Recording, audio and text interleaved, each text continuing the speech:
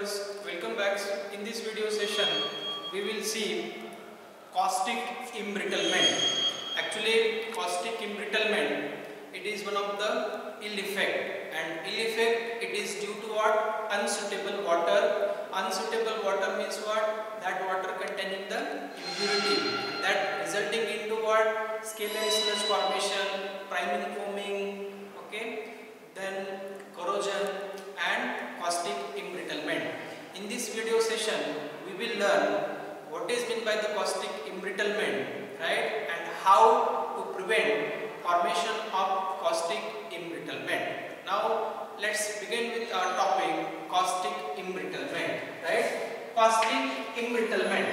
Caustic embrittlement, it is caused due to highly alkaline condition of the water, right? For softening of the water, we can use soda lime water and that soda lime water containing sodium carbonate that is Na2CO3 sodium carbonate. So, for softening of water, we can use soda lime water and soda lime water containing unreacted sodium carbonate. So, unreacted sodium carbonate undergoes hydrolysis reaction at very high pressure, right?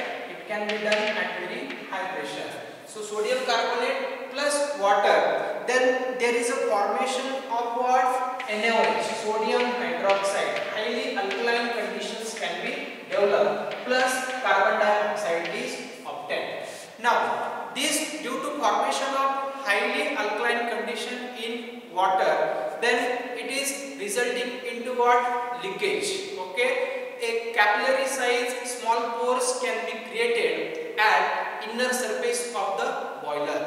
Due to formation of alkaline condition, your boiler metal becomes what? Brittle, right? So, this NaOH, this NaOH react with what your boiler metal and that boiler metal contains what? Fe, twice Fe, twice Fe plus NaOH, sodium hydroxide plus O2. Then there is a formation of whatever sodium ferrite that is twice NaFeO3.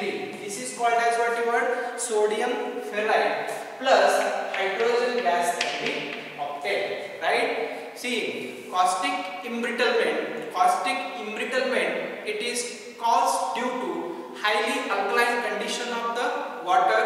For softening of water we can use what? Soda lime water right? And this soda lime water it containing unreacted sodium carbonate.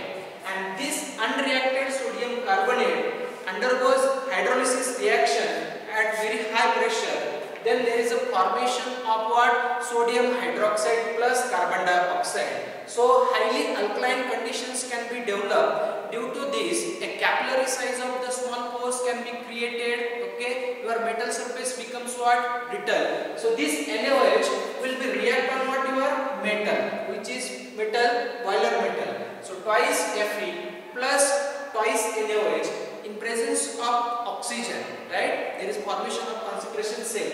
So it converted into what? Sodium ferrite and in this way breaks can be occur into the boiler metal.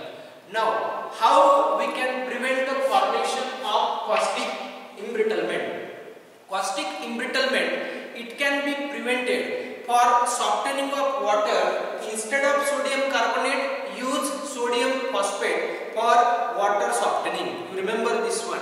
So, caustic embrittlement, it can be prevented by addition of sodium phosphate instead of what? Sodium carbonate or water softening then you can adjust the pH of water is in between 8 to 9 then also the caustic embrittlement it can be prevented. Even you can add the organic chemicals. Which organic chemicals? That is lignin and tannin so due to addition of the lignin and tannin it will block the some minor cracks in the boiler right so in this way we can prevent the formation of the what caustic embrittlement how caustic embrittlement can be prevented it can be prevented by for softening of water use sodium phosphate instead of what? Sodium carbonate. This is the first.